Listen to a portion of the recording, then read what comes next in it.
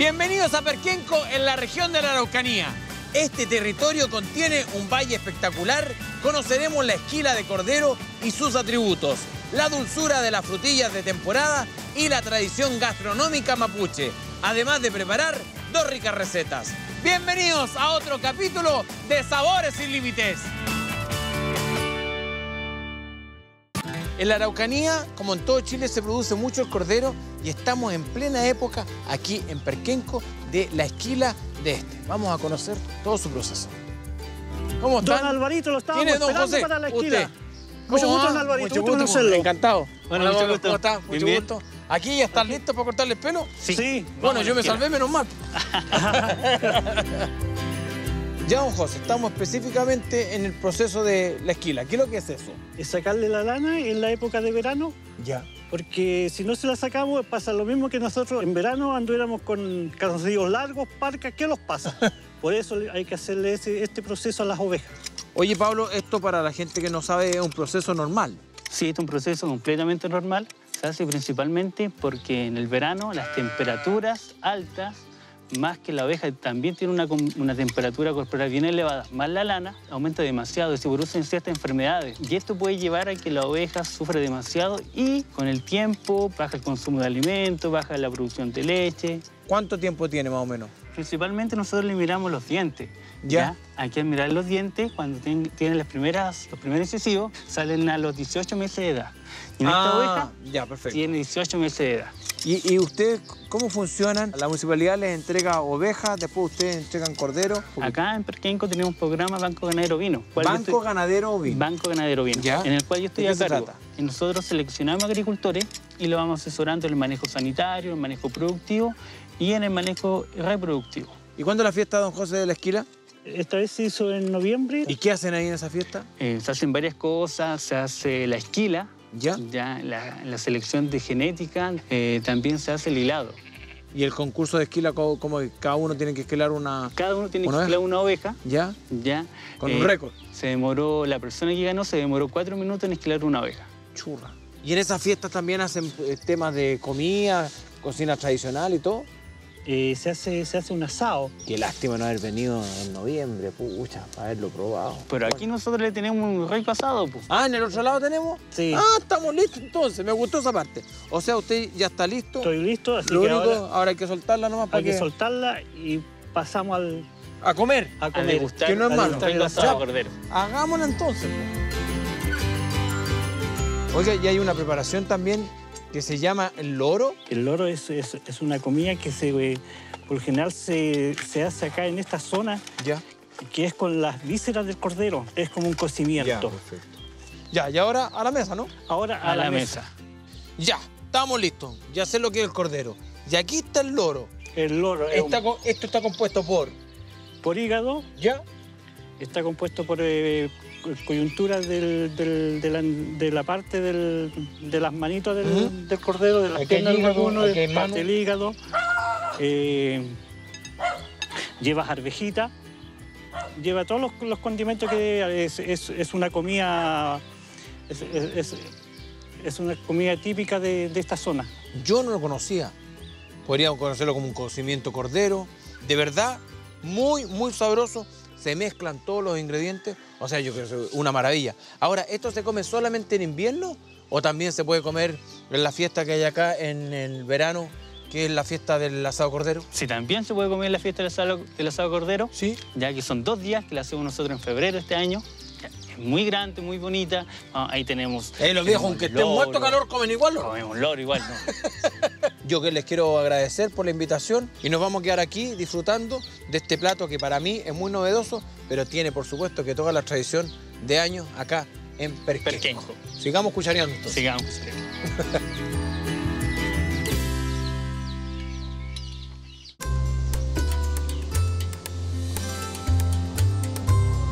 A mi espalda se encuentra el salto Pichún Lao y vamos a preparar hoy día unas criadillas al pelpil con un toque bastante especial.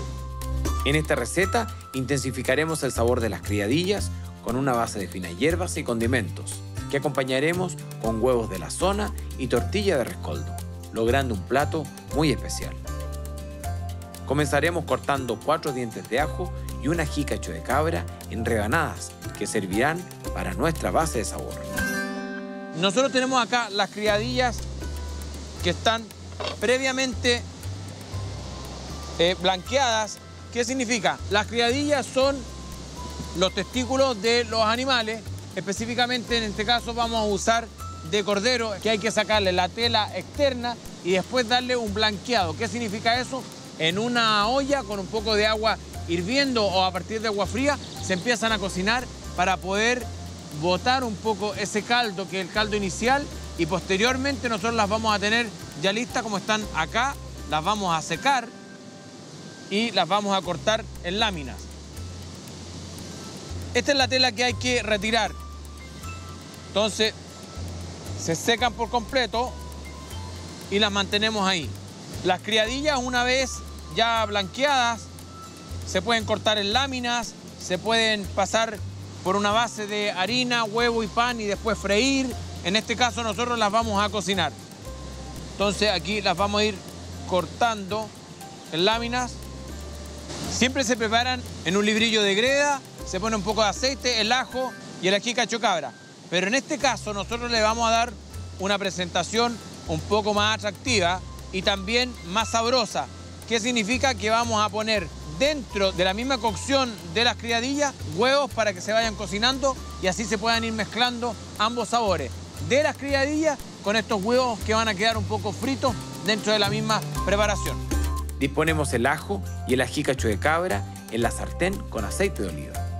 Ahora es momento de llevar las láminas de criadillas que giraremos constantemente para cocinar en forma pareja. Condimentamos con orégano seco, merquén, sal y pimienta, para luego agregar vino blanco que servirá para obtener una salsa.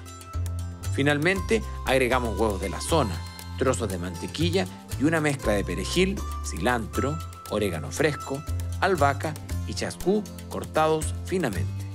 Ahora estamos listos para el montaje del plato. Y esta misma sartén, también por el entorno, va a ser el plato de presentación.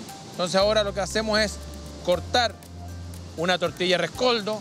Puede ser con tortilla rescoldo, pan amasado, churrasca, sopa y pilla, sopa y pilla del centro de Chile con zapallo, del sur sin zapallo. ¿De qué tipo? Ahí el que manda es la localidad.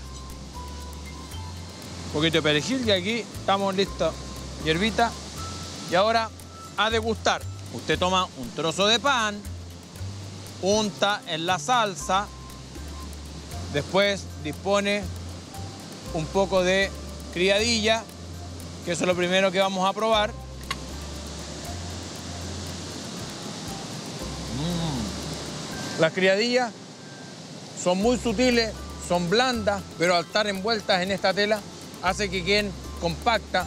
Por lo tanto, después, con la mezcla del ajo, que es muy invasivo, después del picante, más las finas hierbas, hace que esta combinación en la boca sea muy, muy, muy sabrosa. Y como siempre digo, un paisaje maravilloso, el mejor producto y por supuesto una rica receta.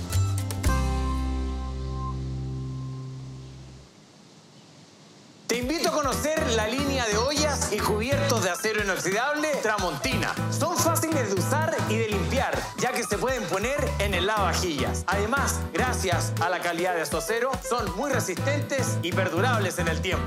Ven a Tramontina Store y descúbrelos. Encontrarás una completa línea con el estilo, innovación y calidad Tramontina.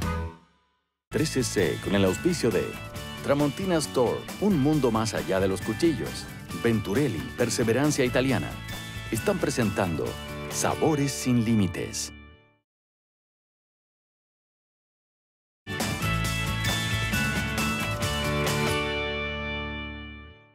Estamos en plena temporada de frutillas y qué mejor que venir uno mismo a cosecharlas. Acompáñenme. Hola, señora Susana. Hola, ¿Cómo, ¿cómo está? está? Mucho gusto. Encantado. ¿Dónde David? ¿Cómo está? Bien, ¿y usted? ¿Vamos a cosechar Vamos. frutillas? Sí. Permiso, pues. Estamos en un verdadero vergel que se siente el aroma desde afuera. Ese aroma a frutilla puede que ustedes no lo sientan porque están acostumbrados. Claro. ¿Y ustedes se dedican solamente a producir frutilla? Mi esposa hace lo que es licor, eh, mermelada. Acá nosotros ya tenemos plantas grandes. ¿Cuánto? ¿Se pone una semilla? Cuéntenos un Mm, poquito no. cómo, ah, es el proceso de la frutilla? Eh, estas plantas se compran en un vivero. ¿Ya? Como al Y- máximo. Sí, entonces nosotros tenemos que hacer estos, came- estos camellones, tenemos que fertilizar un poco la tierra, colocarle cintas de riego, el nylon, y después se colocan las plantas. ¿Y en qué época se plantan la, todos estos pequeños Eh, plantitas? Teniendo riego puede ser en cualquier tiempo. Claro. Ah, porque uno siempre relaciona que la, la frutilla solamente es de verano. Hoy día ya no. Da en, el, en tiempo de primavera, verano, el fruto. Ya. Y se, y se puede plantar en cualquier tiempo, ¿no? Ahora, pero si, tiene mucho viento y tiene mucha lluvia. No le hace no. nada, igual nomás se da. Ah, igual nomás. Sí, Sí, Ah, es carne de perro. carne sí de son duras. ¿Cómo la retiro? ¿La tiro nomás? No, Tiene que dobla. torcerla un poquito. Ah, ahí está. sí. Esa es la forma. Sí. Sí. Porque ¿qué pasa si yo llego y, y la, Se- la tiro nomás? Se, ¿Se puede, despatilla? claro, se pueden O se despatillar esta, la, la que trae la flor. Ah, entonces mato la, mato la, planta. Sí, Sí. pero un poco, una parte de la planta. sí. Yo veo aquí una flor. Después de esta flor se va a convertir en fruto. Sí, Y aquí ya la tenemos ya en verde que necesita... ¿Cuántos días más o menos tiene ahí? Es como, como 15 días, 10 días más. O sea, Porque son rápidas. el proceso de un mes más o menos. sí. Sí, por ahí. ¿Qué tipo de variedad hay acá? Ahí tenemos sabrosa. Y alveón. tenemos Son todas sabrosas, pues. así se llama. Así se llama la variedad. Ah, ya. Por ejemplo, esta que tenemos aquí, ¿qué tipo es? Alveón. Alveón. Sí, Sí. Es muy compacta, es lisa, claro. es, es bastante dura, a diferencia de otras sí, la que son como diferencia más de la blanditas. sabrosa es que esta es ahuecada por dentro. Es más liviana esta, para Sí. venderla al, al Y kilo la es como sabrosa más tiene más olor Más pesada la otra. ¿Ya? y el, el color es más claro. Pues son bonitas, sabrosas. Aquí son todas ricas. Está muy buena. Sí. Oiga, ¿y podemos probar esos productos que usted me dijo? Claro. ¿O ya tiene todo vendido? No, Ah, ¿tiene algo? sí, me queda. Ah, ya, pues, entonces vamos. Menos mal que ustedes habían adelantado la pega porque Sí. para poder llenar esto no es fácil. ¿Cuánto vale más o menos esta canastita entera? Cinco lucas. Cinco lucas. Sí. Qué ganas de vivir más cerca. Pero bueno, eso es lo importante, invitar a toda la gente que nos ve y poder venir y pasar por Perquenco y poder comprar la frutilla. Que pueden venir a su casa también a comprarla, Sí, ¿cierto? también. Buenísimo. Y después aquí toda la línea, De mermelada, albaricoque. mermelada Susana. Sí. Licores Y li- algunos licores también. también. Oiga, y acá tenemos el postre. Sí, conserva de frutilla. ¿Esta cómo la prepara? Eh, almíbar y fruta. Que debe ser rica. ¿Y se podrá probar? Sí, pues. Ay, ya, qué bueno, me gustó. Ya. ¿Abre usted? Abro ¿Está yo. muy duro? Ah, yo le voy a enseñar una técnica, mire. Ah, ¿ve? ¿Cómo quedó? Ahí está, pues le da una vueltecita. ¿Probamos aquí? Sí, Ya. Ahí está. Y con juguito. sí. Vamos a probar poquito porque como me comí casi la canasta. Mm. Eh, Lo que pasa es que son muy aromáticas Sí, y después el sabor también que se concentra Claro. con el azúcar. Este sí que es un postre. sí. ¿Para qué hacer más? No hay que ni ponerle crema. No, pues si no. Y también aquí hay un detallito que tiene esta botellita acá que se llama sello con de identidad local, hecho en Perquenco. Perquenco. Que eso habla también de la calidad de los productos con los que se está haciendo y que rápidamente, y yo espero que en un futuro bastante cercano, se pueda decir que estos productos son con denominación de origen. Que eso hace no vender la frutilla en una luca, sino en bastante más. Y el que no le gusta, que no lo pague nomás, porque haya a otro lado. Sí. No, de verdad, una maravilla. Yo voy a seguir comiendo aquí, disfrutando. ¿Me puedo comer la Claro. entero? Sí. No, si no me da para tanto.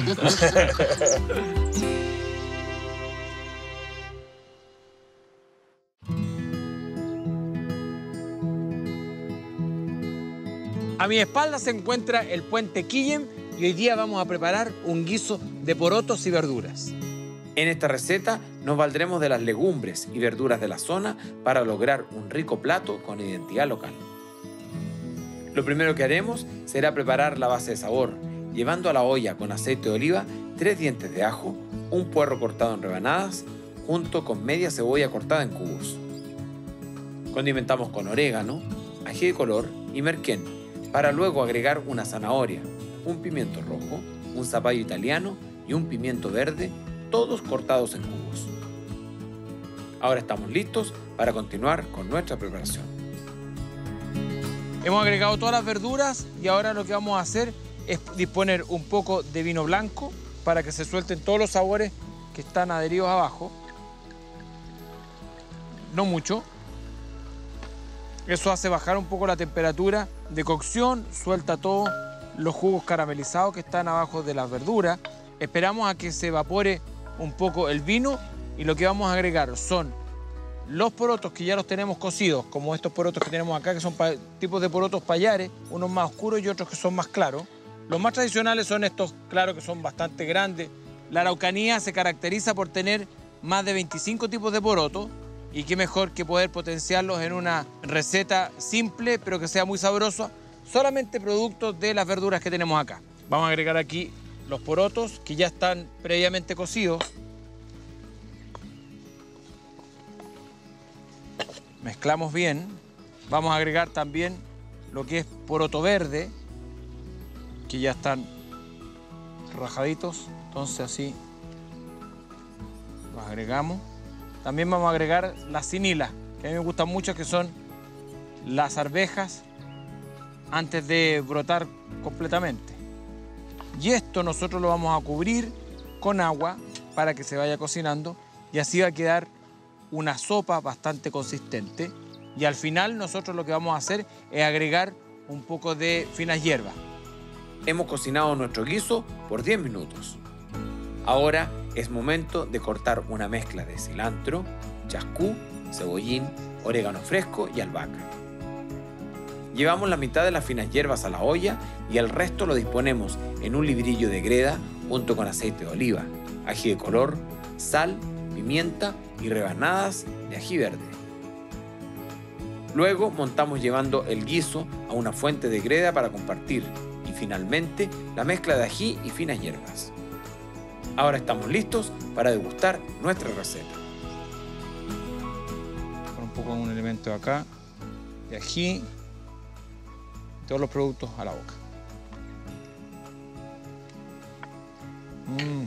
Aquí podemos tener un plato 100% vegetariano, no ocupamos ningún elemento que sea de origen animal, puras verduras de la huerta, lo que hace que sea un plato muy, muy, muy sabroso y que se vea muy bonito a la hora de la presentación.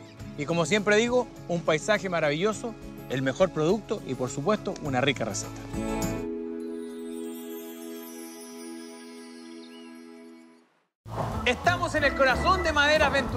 Conociendo la nueva línea de puertas, mamparas y ventanas de Pino Radiata. Con finas terminaciones pueden ser parte de las soluciones constructivas y naturales que usted necesita. Conoce nuestros productos en venturelli.cl. Venturelli, perseverancia italiana.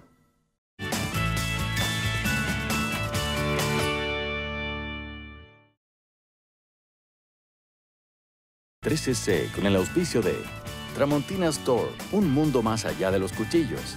Venturelli, perseverancia italiana. Están presentando Sabores sin límites.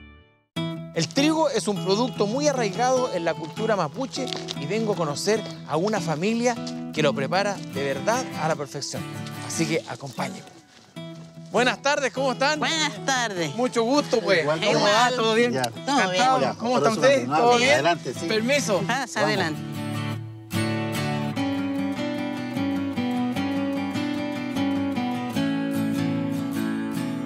Este es el privilegio de hacer Sabores sin Límite porque podemos recorrer nuestro país, encontrarnos con gente linda. Primero, agradecer de estar en vuestra casa. Y específicamente, señora, aquí nosotros estamos haciendo eh, este trabajo con el trigo. Eh, cuénteme un poquito cómo hace todo el proceso para poder después llegar a los productos. El trigo este hay que tostarlo, ¿Ya? hay que limpiarlo primero, después se tuesta y después hay que molerlo, pasarlo por el molino Ya. que tengo ahí. Antiguamente, ¿cómo se hacía? Porque no estaba el molino. No, antiguamente se hacía piedra, Ah, pura piedra. pura piedra. Y para el mudai hay que cocinarlo. ¿no? La harina también se puede hacer mudai de harina. Ah, ya. Sí, pero lo que yo tengo es harina, o sea, mudai de, de trigo, pero no de harina, sino harina, eh, trigo cocido. Don Oromán, Sí. esa es una, esa es la cayana, que, Sí. es, que es una lata formada para Claro. después tostar, ¿no es así? Tostar, sí, así es. Ya. Y bueno, esto tiene todo para un control para que no se dé vuelta esta parte Entonces ya al mover esto, porque va a chocar allá, Dale nomás. esto así, entonces va dando vuelta el trigo. ¿ven? Ahí. Entonces eso significa que cada golpe que pega allá el trigo se está dando vuelta. Ajá. Entonces por eso se cuece parejo. ¿Y cuánto tiempo hay que cocinarlo más o menos por esas Mira, cantidades? esto depende del tamaño del fuego que haya. Si el fuego que tenga bastante llama, es rápido y es parejo.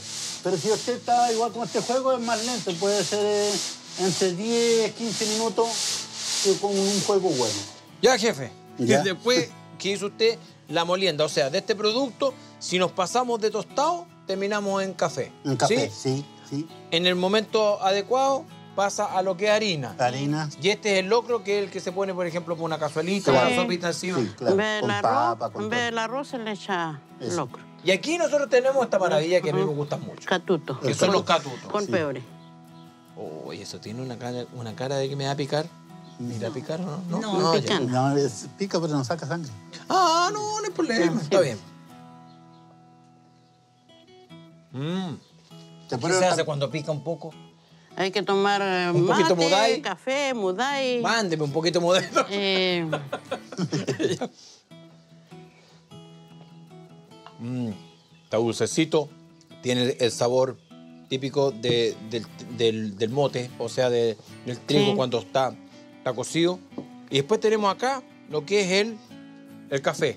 ¿Y este café cómo se prepara? ¿Le agregan agua? en ese trigo quemado, Ya. ya no tan quemado, quemado, que del color del café nomás.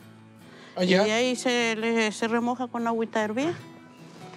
Y el café, o sea, no tiene las características del café porque es, otro, es otra planta. O sea, el otro café, café es otra claro, planta. claro. Esto de verdad es un aroma muy, muy agradable que es producto del tostado. Del tostado y del trigo. Ahora, entre nos, yo he probado café de trigo en otras partes. Ya. Medio amargo. ¿Eso qué significa? Que se le quemó en la calle. Exactamente. Sí. Se quemó el trigo. sí, se, sí. se quemó el trigo. Claro. Pero eso va a quedar entre nosotros nomás, no, no, vamos a contar nada. sí, claro. Nos vamos a quedar aquí entonces disfrutando de esta maravilla y de verdad muchas gracias por recibirnos en su casa. Bueno, Claro. sigamos disfrutando entonces. Igual, pues. Ahora hay vamos. que comerse todo. Todo lo que Sí, se bueno, pueda. se puede guardar, pues. No, no, no. No, no, esto no se guarda. Ya, sírvase entonces. Yo le sirvo ahí.